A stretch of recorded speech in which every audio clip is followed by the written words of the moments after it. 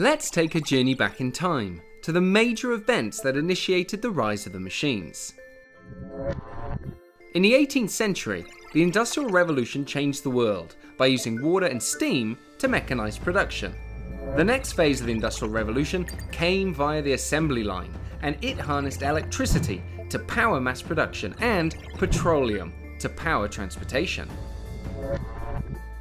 Fast forward to today, and we are living through the third industrial revolution, a technological revolution that will alter the way we live, work, and relate to one another. This revolution is driven by technologies such as IoT, Internet of Things, artificial intelligence, cloud computing, and information technology. Together, they blur the lines between the physical, digital, and biological spheres. Even now, many of the devices that were purely mechanical have become IT devices, from your wristwatch to your phone. These devices are all powered by simple instructions called programs. Programs are written by a computer programmer and are the DNA that powers all digital devices.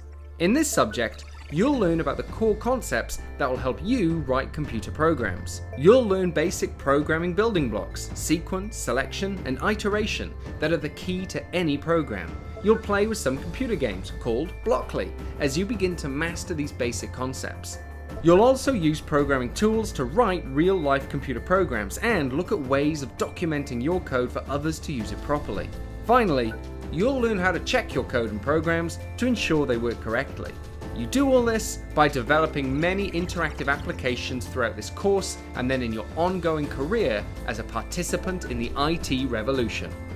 By the end of this subject, you will understand basic programming constructs, use programming tools, write pseudocode, write Java programs, and test and document a program.